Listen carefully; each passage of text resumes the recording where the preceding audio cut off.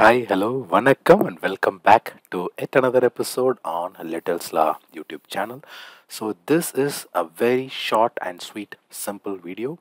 In this video, we are, we are going to see about how to add the file or the folder to the commit when you face the error like the error which tells you that the bin does not have a commit checked out.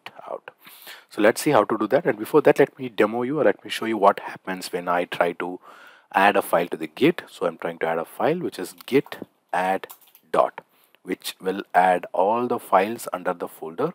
So when I click enter, I get the error code which is which says demo does not have a commit checked out and that is the reason I'm not able to do the add action i'm not able to complete the add action. So what is the solution for this? So so the solution for this is um, I have we have to open the folder and here you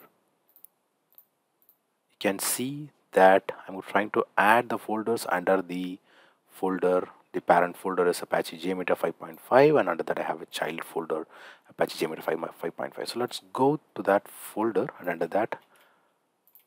So we are in the folder now and under that we can see here that the demo which is in lowercase. The demo does not have a commit checked out. So let's see. Here we here we can see the demo folder. And let's go into the demo. So the problem lies is already this folder has a git initiated in it. So how can we confirm that? Let's go to the view and let's go to show.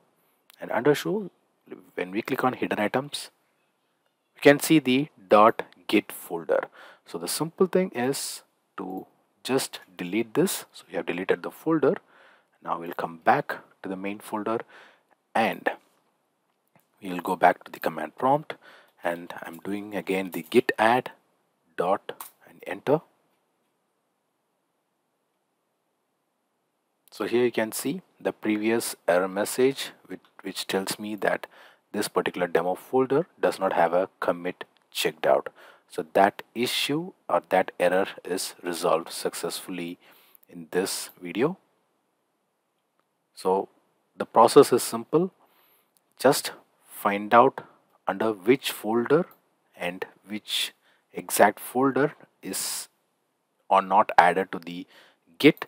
And once you find the folder go into the folder go to the view uh, view button and then check out the hidden items.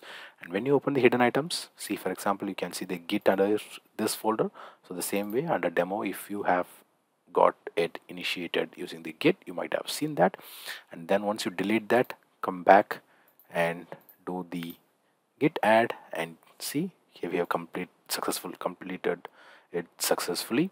So this is how we can fix this error which tells us the particular folder does not have a commit checked out. So i hope this video will really help will really help you. Until we meet in another interesting video it's Bye from Asan Shanmugam and Little's Law